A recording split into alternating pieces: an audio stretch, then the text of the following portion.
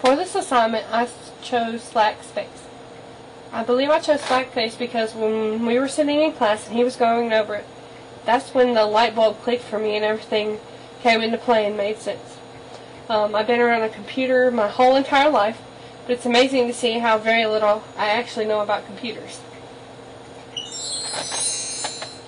Uh, you might be wondering what is slack space.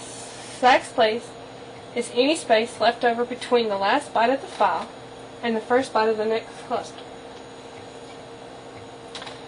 Um, sometimes it is referred to as file slack.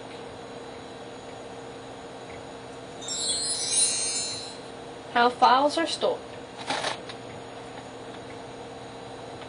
Files are stored in clusters. A cluster is 8 sectors, and a cluster is 4,096 bytes. If a file is 5 bytes, there are 4,091 bytes that are not being used. I don't know about you, but that just seems like a lot of wasted space to me. Deleting files. What happens when files are deleted off the hard drive? Are they really gone? In most cases, they are stored in the recycle bin.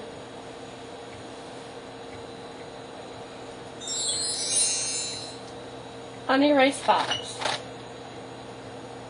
Slack space can contain deleted files. These files can be retrieved using several different programs. A few of the programs are File Recover and Windows Undelete software.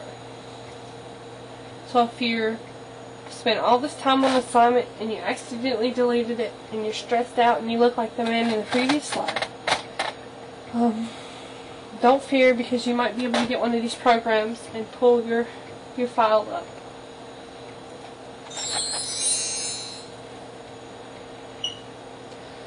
Um, Windows Undelete software is the leading software for for file recovery. So if you accidentally deleted something, I would definitely look into Windows Undelete. I wish I'd known this um, over the summer. We had been working on a paper, and it took several, several, several hours. And um, about a month I've been working on paper, and my children accidentally deleted it. And you would think my father, the IT, would have told me, you know, there's a program out there that I could have retrieved my information, but he didn't. So I ended up having to do it all over. But I mean, in the end, I made a good grade on it, so everything was good. Overwriting files.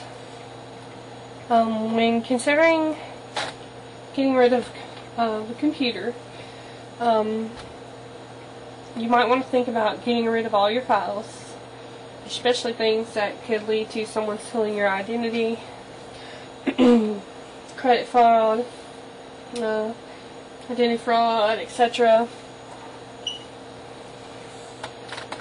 Um, files can be removed using Window Washer.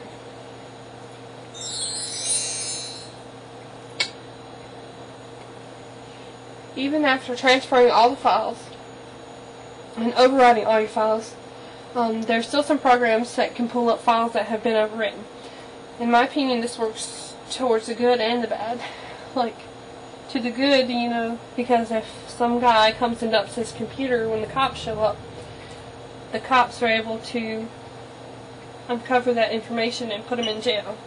It also works to a dentist's advantage because someone can get your information and possibly steal your identity or use your credit card or things of that nature.